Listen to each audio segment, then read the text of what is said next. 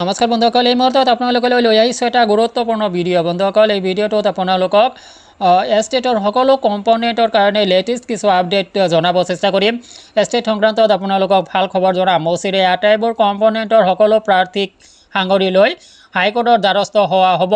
আৰু এই হাইকোৰ্টৰ দ্বাৰস্থ যে হ'ব সন্তাৰ বিষয়ববীয়াসকলৰ পৰা জানিব পৰা অনুসৰি কি কি দাবী তেখেতসকলে হাইকোৰ্টত উত্থাপন কৰিব ইয়াৰ বেছিক দাবী কোনবিলাক হ'ব আপোনালোকক বিস্তাৰিতভাৱে এই ভিডিঅ'টো জনাব চেষ্টা কৰিম। তো বন্ধুসকল ভিডিঅ'টো আৰম্ভ কৰাৰ আগতে আপোনালোকক জনাম সৰু এটা ৰিকুৱেষ্ট এনেধৰণৰ ভিডিঅ'বোৰ আপোনালোকে নিতৌ পাই থাকিবলৈ চেনেলটোলৈ যদি নতুন আগমন কৰিছে অৱশ্যে চেনেলটো ছাবস্ক্ৰাইব কৰি ল'ব কাষত থকা বেল আইকনটো প্ৰেছ কৰি ন'টিফিকেশ্যন অল অপশ্যন ছিলেক্ট কৰি ৰাখিব যাতে এনেধৰণৰ ভিডিঅ'বোৰ আপলোড দিয়াৰ লগে লগে আপুনি ন'টিফিকেশ্যন লাভ কৰিব পাৰে। তো বন্ধুসকল প্ৰথমতে আপোনালোকক জনাই ৰাখোঁ যে ইতিমধ্যে সংযোগী শিক্ষাকৰ্মীসকলৰ কিছুসংখ্যক প্ৰাৰ্থীয়ে হাইকোৰ্টৰ দ্বাৰস্থ হৈছিলে। তেখেতসকলৰ মুখ্য দাবী আছিলে যে ৰাজ্যত এন ই পিৰ আণ্ডাৰত পি পি শ্ৰেণী আৰম্ভ হ'ব আৰু পি পি শ্ৰেণী আৰম্ভ হ'লে সম্পূৰ্ণ মানৱীয় দৃষ্টিভংগীৰে তেখেতসকলক পি পি শ্ৰেণীত স্থায়ীভাৱে নিযুক্তি প্ৰদান কৰিব লাগে। আৰু এই বেছিক দাবীৰে তেখেতসকলে হাইকোৰ্টৰ দ্বাৰস্থ হৈছিল আৰু খুব কম সময়ৰ ভিতৰত তেখেতসকলে এটা অৰ্ডাৰ ওলাব পাৰিছিল। আৰু সেই অৰ্ডাৰৰ সেই কেছৰ ৰিফাৰেঞ্চত সংযোগী শিক্ষাকৰ্মী সকলৰ লৈ কিছুসকল সংযোগী শিক্ষাকৰ্মী আছে আৰু বাকী অন্যান্য কম্পনেণ্টৰ কৰ্মীসকলক শিক্ষাকৰ্মীসকলক লৈ ইতিমধ্যেই এটি সংগঠন আপোনাৰ ই বি সংগঠন গুৱাহাটী হাইকোৰ্টৰ দ্বাৰস্থ হ'ব বুলি তেখেতসকলে জনাইছে আৰু তেখেতসকলৰ এটি বেছিক উদ্দেশ্য হৈছে তেখেতসকলে প্ৰত্যেকটো কম্পনেণ্ট ইয়াতে সংযোগী শিক্ষাকৰ্মীসকলক সাঙুৰি লোৱা হ'ব যদি তেখেতসকলে ইয়াত ইনক্লুড হয়। তো তেখেতসকলে জানিবলৈ দিয়া অনুসৰি ইতিমধ্যে পেনেল লিষ্ট তেখেতসকলে প্ৰিপেয়াৰ কৰি আছে আৰু মই তেখেতসকলৰ লগত যোগাযোগ কৰি জানিব পাৰিছোঁ। তেখেতসকলে মোক জনাইছে যে আমি অ' চিৰেই গুৱাহাটী হাইকোৰ্টৰ দ্বাৰস্থ হ'ম। তেখেতসকলে ৰিফাৰেঞ্চ কেছ কৰিব আৰু তেখেতসকলৰ মুখ্য এটি পদক্ষেপ হ'ব যে তেখেতসকলে প্ৰত্যেকটো কম্পনেণ্ট প্ৰত্যেকটো কম্পনেণ্টক তেখেতসকলে সাঙুৰি ল'ব। কোনো কম্পনেণ্টৰ কোনো ব্যক্তিয়ে যদি তেখেতসকলৰ লগত সাঙুৰি থাকিব খোজে তেখেতসকলে থাকিব পাৰে।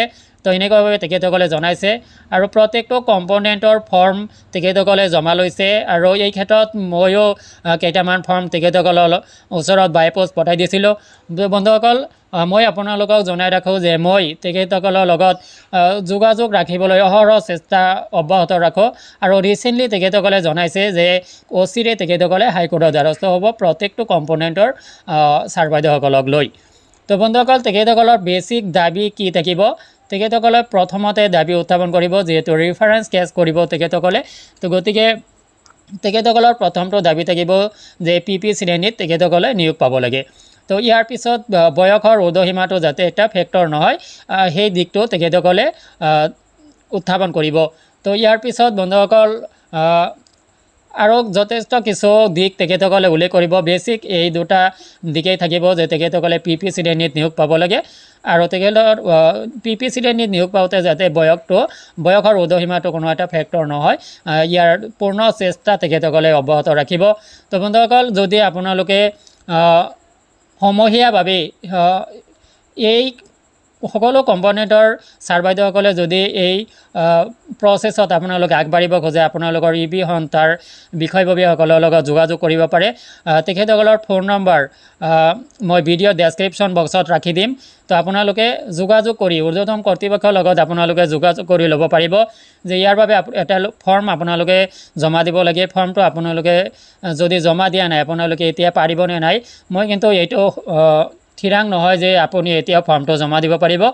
যাৰ কাৰণে ভিডিঅ' ডেছক্ৰিপশ্যন বক্সত মই নম্বৰ ৰাখি দিম। আপোনালোকে যদি কোনোবাই বিচাৰে যে ফৰ্ম জমা দিব আপোনালোকে হাইকোৰ্টৰ দ্বাৰস্থ হ'ব তেতিয়াহ'লে আপোনালোকে তেখেতসকলৰ লগত যোগাযোগ কৰি ল'ব পাৰে। তো বন্ধুসকল ভিডিঅ'টো শেষ কৰাৰ আগতে আপোনালোকক আৰু এটা কথা জনাই ৰাখোঁ যে আপোনালোকে সমূহীয়াভাৱে যদি হাইকোৰ্টৰ দ্বাৰস্থ নহয় আপোনালোকে কিছুসংখ্যক প্ৰাৰ্থী যদি হাইকোৰ্টৰ দ্বাৰস্থ হ'ব লগা হয় ইয়াৰ পৰৱৰ্তী সময়ত ৰিফাৰেঞ্চ কেছৰ কাৰণে তেতিয়াহ'লে কিন্তু আপোনালোকৰ খৰচৰ মাত্ৰাটো অত্যাধিক হোৱাটো সম্ভাৱনা প্ৰকট। হাণ্ড্ৰেড পাৰ্চেণ্ট আপোনালোকৰ খৰচৰ পৰিমাণটো বেছি হ'ব। কিন্তু সমূহীয়াভাৱে থাকিলে আপোনালোকৰ খৰচৰ পৰিমাণটো কম হ'ব। যাৰ কাৰণে আপোনালোকে সময় থাকোঁতে যোগাযোগ কৰিব পাৰে। তো বেছি বেছিক ডিটেইলছ মই ইয়াৰ পৰৱৰ্তী ভিডিঅ'ত আপোনালোকক জনাবলৈ চেষ্টা কৰিম যে তেখেতসকলৰ কি আগভাগ ল'লে সেই সম্পৰ্কে আপোনালোকক পৰৱৰ্তী ভিডিঅ' জনাবলৈ মই চেষ্টা কৰিম। তো ভিডিঅ'টো সংক্ৰান্তত আপোনালোকৰ পজিটিভ কমেণ্ট বিচাৰিছোঁ আপোনালোকে কমেণ্ট ছেকশ্যনত পজিটিভ কমেণ্ট প্ৰদান কৰিব। আজিলৈ এৰিছোঁ। ধন্যবাদ